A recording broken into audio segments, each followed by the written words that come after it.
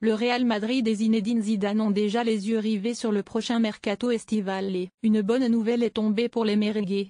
Bonne nouvelle pour le Real Madrid et Zinedine Zidane. Point d'exclamation Le Real Madrid dispose d'une enveloppe exceptionnelle de 500 millions d'euros pour recruter lors du prochain mercato estival.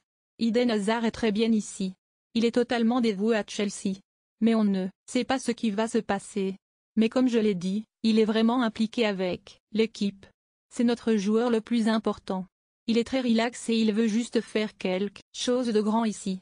Il veut remporter la Ligue Europa et finir dans les quatre premiers en Première Ligue, déclarait récemment Pedro, l'ancien ailier du FC Barcelone, après la victoire face au Slavia, Prague en quart de finale de la Ligue Europa, expliquant ainsi que si son coéquipier veut partir,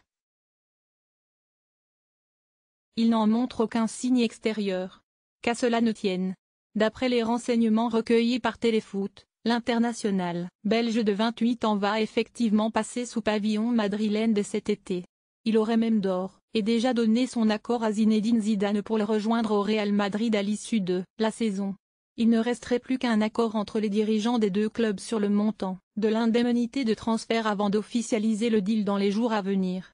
Et toujours selon l'émission dominicale de TF1, L'affaire devrait finalement se conclure autour d'une somme de 120 millions d'euros.